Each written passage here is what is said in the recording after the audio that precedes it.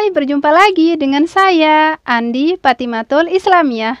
Di video kali ini kita akan membahas mengenai macam-macam simbiosis. Buat yang baru gabung, jangan lupa support channel Andi Patimatul Islamiyah dengan cara klik like, komen, share, dan subscribe. 2. Macam-macam simbiosis ada yang tahu tidak apa yang dimaksud dengan simbiosis? Tulis di kolom komentar ya. Simbiosis adalah bentuk hidup bersama antara dua individu yang berbeda jenis. Simbiosis dibagi menjadi tiga macam, yaitu yang pertama simbiosis mutualisme, yang kedua simbiosis komensalisme, yang ketiga simbiosis parasitisme. 1. Simbiosis mutualisme Apa yang dimaksud dengan simbiosis mutualisme? Simbiosis mutualisme adalah suatu hubungan dua jenis individu yang saling memberikan keuntungan satu sama lain. Dengan kata lain, simbiosis mutualisme adalah hubungan timbal balik antara dua jenis individu berbeda yang saling menguntungkan. Contoh simbiosis mutualisme. Contoh yang pertama yaitu jamur dengan akar pohon pinus. Hubungan timbal balik antara jamur dengan akar pohon pinus yaitu jamur mendapatkan makanan dari pohon pinus sedangkan pohon pinus mendapatkan garam mineral dan air lebih banyak jika bersimbiosis dengan jamur. Contoh yang kedua yaitu bunga dengan kupu-kupu. Bunga dengan kupu-kupu dalam proses penyerbukan bunga dibantu oleh kupu-kupu dan kupu-kupu mendapat nektar. Yang ketiga yaitu bunga dengan lebah, yang keempat lalat dengan bunga replisia atau bunga bangkai, dan yang kelima burung bangau dengan kuda nil. 2. Simbiosis komensalisme Apa yang dimaksud dengan simbiosis komensalisme? Simbiosis komensalisme adalah hubungan interaksi antara dua jenis individu yang memberikan keuntungan kepada salah satu pihak tetapi pihak lain tidak mendapatkan kerugian.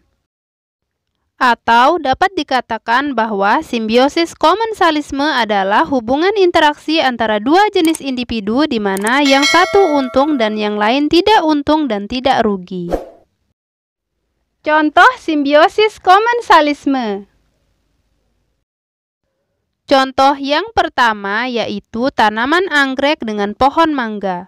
Tanaman anggrek mendapatkan keuntungan berupa tempat hidup, sedangkan pohon mangga tidak mendapatkan keuntungan maupun kerugian dari keberadaan tanaman anggrek tersebut. Contoh yang kedua yaitu remora dengan ikan hiu. Contoh yang ketiga yaitu katak dengan pepohonan. Contoh yang keempat yaitu ikan badut dengan anemon. 3. Simbiosis parasitisme Apa yang dimaksud dengan simbiosis parasitisme? Simbiosis parasitisme adalah hubungan dua jenis individu yang memberikan keuntungan kepada salah satu pihak dan kerugian pada pihak yang lain. Atau dapat diartikan bahwa simbiosis parasitisme adalah interaksi antara dua jenis individu di mana yang satu untung dan yang lain rugi. Contoh simbiosis parasitisme Contoh pertama yaitu kutu rambut dan manusia. Kutu rambut memperoleh keuntungan dari manusia berupa darah yang diisap sebagai makanannya, sedangkan manusia akan merasakan gatal pada kulit kepalanya. Contoh yang kedua yaitu tumbuhan tali putri dengan inangnya. Contoh yang ketiga yaitu nyamuk dan manusia. Contoh yang keempat, sapi dengan cacing hati. Tiga, peran organisme berdasarkan kemampuan menyusun makanan. Berdasarkan kemampuan menyusun makanan, peran organisme dibagi menjadi dua, yaitu autotrop dan heterotrop. Organisme heterotrop berdasarkan jenis makanannya dibagi menjadi tiga, yaitu yang pertama herbivora, yang kedua karnivora, dan yang ketiga omnivora. Organisme autotrop merupakan organisme yang dapat mengubah bahan anorganik menjadi organik atau dapat membuat makanan sendiri dengan bantuan energi seperti energi cahaya matahari dan kimia. Sedangkan organisme heterotrop adalah organisme yang tidak mampu menyusun zat anorganik menjadi zat organik sehingga harus mendapatkan makanannya dengan cara memakan organisme lain. Herbivora adalah hewan pemakan tumbuhan. Karnivora adalah hewan pemakan daging. Omnivora adalah hewan pemakan daging dan tumbuhan. Jangan lupa support channel Andi Patimatul Islamiyah dengan cara klik like, komen, share, dan subscribe. Jangan lupa kunjungi playlist Andi Patimatul Islamiyah karena dalam satu buku akan dijadikan satu playlist.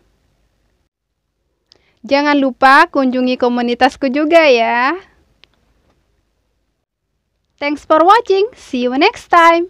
Bye bye.